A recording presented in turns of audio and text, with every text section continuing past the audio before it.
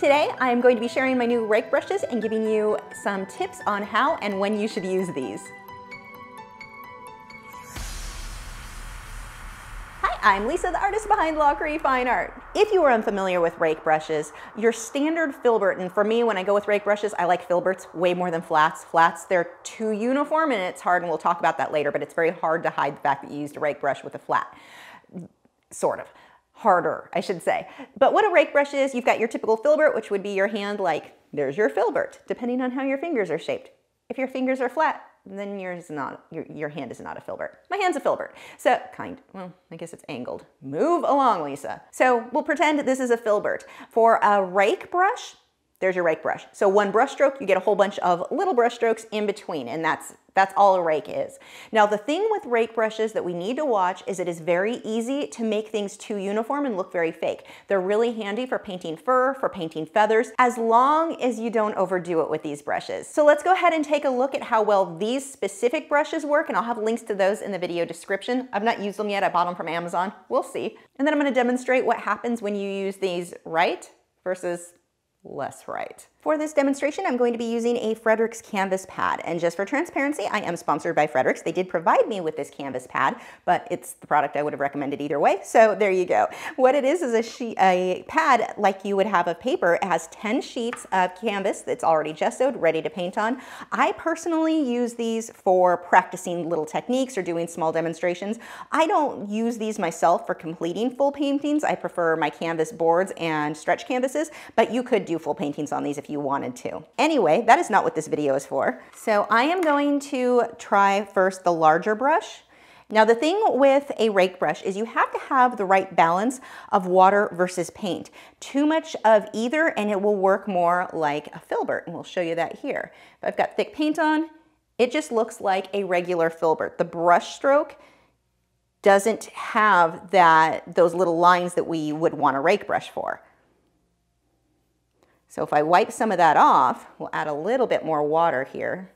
That will give me a nicer balance and don't apply very much pressure. And now we're getting those tiny lines, a whole bunch of tiny lines. Actually, this brush, I'm kind of impressed with. I am liking the results I'm getting with this one. I wasn't sure. I usually use the Loew Cornell rake brushes, but I can't find them anymore. So I went looking for an alternative, which is what led to this video. Adding a little bit more water and that is giving us really, really nice lines there. So as we go in through this, you can see right there on the bristles where they're separated. And that is how you get these nice whole bunch of lines in one brush stroke. Again, you push too hard and now it just looks like your typical filbert. So you have to thin that paint with water to get a good flow here. I'm really, really happy with this brush. So let's rinse that brush out. I wanna try some of the smaller brushes. That one was the half inch. This one is the quarter. So still thinning that with water. This is a really nice brush. I am so happy with the results that we're getting here. And then we've got an eighth inch. Let's go ahead and test. I'm sure that'll be fine, but we'll test it anyway. For tiny little areas, I could have used this on my recent sea otter. There we go, little areas there.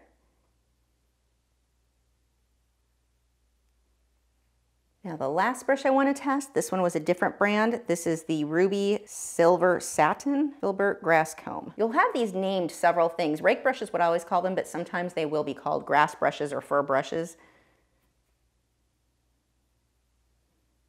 Yep, that one's fine too. I definitely could recommend every single one of these. And one of the things that I'm liking on this is the, these bristles are separating really nicely. See how separated those bristles are? That is what you want when you're using a rake brush. When these brushes are new, they have a tendency, at least the low, Cor Loew Cornell ones, they stayed together too much and it made it a little bit harder to use when they were new. I usually needed to let those brushes get damaged first so that they started to fray even more and that's how I got them to work well. So if you do have a rake brush that's a different brand, this one is the KingArt. But if you have another brush that is a different brand, you may just need to let it get kind of dirty. Don't, I mean, rinse it with water, but don't rinse it with your brush conditioners or cleaners because that might take longer for the brush to work well. And I definitely, with the Loew Cornell brushes, found that it always took me a lot longer to get them to where I got this kind of result so early on. So I'm really happy with, with these brushes, surprisingly so. Next, I want to talk about when to and not to use these or how to use these. The big thing with these brushes is I feel it works better if you mix them with your regular liner or a round brush. So here is my round, here is my liner brush. These brushes are, are great in combination with your rake brushes. If you only use the rake brush, it's too easy to have something that looks a bit too uniform. So let's say we have a tiger.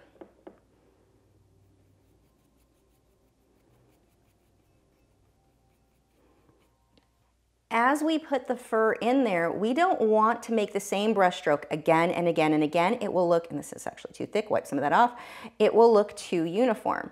So we start building up those brush strokes and I'm slightly twisting and turning the brush and creating clumps and clusters. And that's the thing when you're painting fur. Same thing with grass.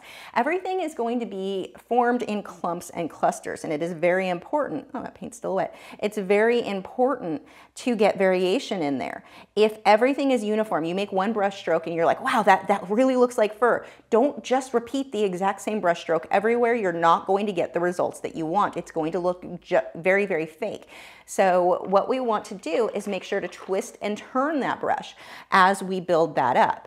So let's add a little bit more. And see how it looks, starts looking like fur where the, where the bristles separate. As I pull that, look at those nice frayed edges. So it starts to look like fur. But again, clump and cluster those. You can pull some of the dark in there right up against it. That has a little too much water, so I need to dab that on my paper towel. There we go. And see how I'm starting to twist the brush? So I'm holding it at one angle and twisting and turning as I pull out. So it starts as a thicker brush stroke. Let's do that over the white so it's more obvious. But we're starting with a thicker brush stroke and twisting it as we move. Now you're not just going to repeat that same brush stroke again and again.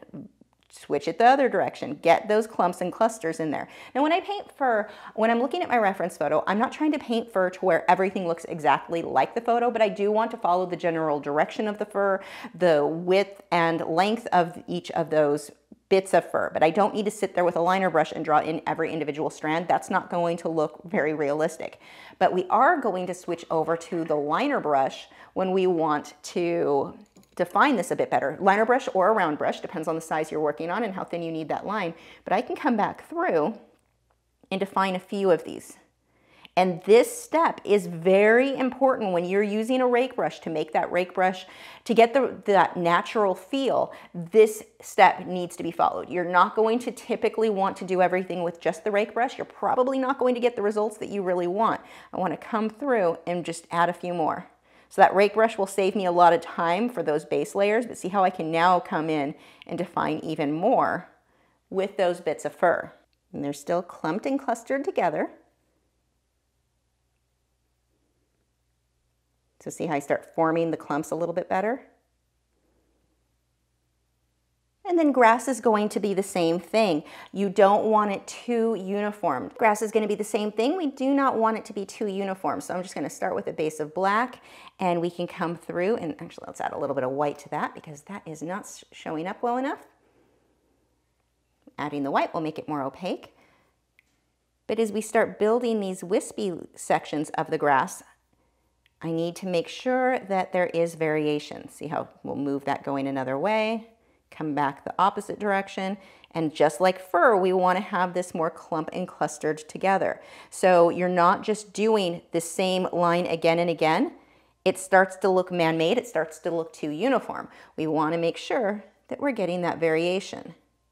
And usually when I use this brush, I push a little bit harder at the beginning of the brush stroke and lift the brush away from the canvas at the end of the brush stroke. So that is a very important part of getting that, that thicker base thinning out at the end gives it a nice natural feel. I am so impressed with this brush. This is so much better than the Loew Cornell brushes that I had used.